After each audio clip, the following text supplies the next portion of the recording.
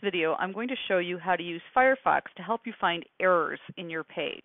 Dreamweaver does a good thing with finding some errors, but Firefox is my, really my go-to way to test things. From Dreamweaver, you're just going to choose Preview in Firefox. And then I'm going to right-click and View Page Source. Make it a little bit bigger. Now I've deliberately broken a few things. One of the things I want you to notice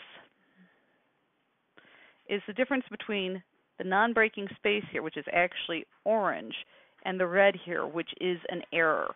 Red is an error, orange is just a special tag. Don't worry about the orange ones.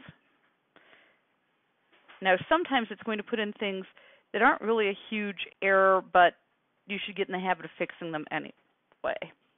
Now the problem here if you hover over it, it'll tell you that you have a stray end tag for head. The issue here is actually that the body tag is appearing before the head tag. That is a huge no-no, and you will lose major points on your projects should you do this. I expect you guys to be checking in Firefox. This is the way I grade. When I go in and look at your pages, I don't bring it into Dreamweaver. I right click and I just view your source. And I view it in Firefox because it points out errors there were open elements here. I didn't close my anchor tag. That caused a problem. The extra space here will cause a problem, but it's not giving me the error message. There's open elements in the tag section that's reinforcing the error here.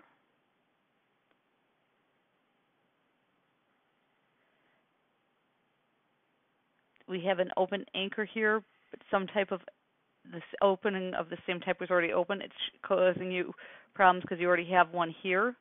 It closes it here just fine, but you can't do this when this one's still open. The fact that this never closed causes cascading errors. This is like the non-breaking space, special characters, it's not an issue. There's open elements in here. I have small listed twice. I forgot to close it.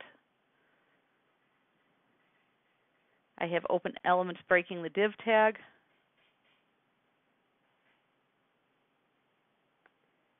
And the body tag, it's an error largely because you have the head tag closing after the body tag. But you should look for and try to eliminate all of the red error messages in Firefox before you hand something in. Not all errors are shown because this hyperlink here, that's not going to work.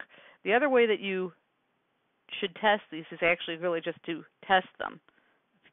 See, doesn't work. You should be clicking on each link to make sure that it really works. And since that link is broken, that's the other thing that you have to test. You want to really click on and check your links.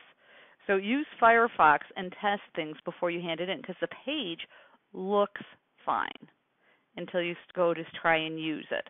But if the errors are there, if I see errors here, even if they don't impact the appearance, you're going to lose points. I want you to really proofread these and check your pages for errors.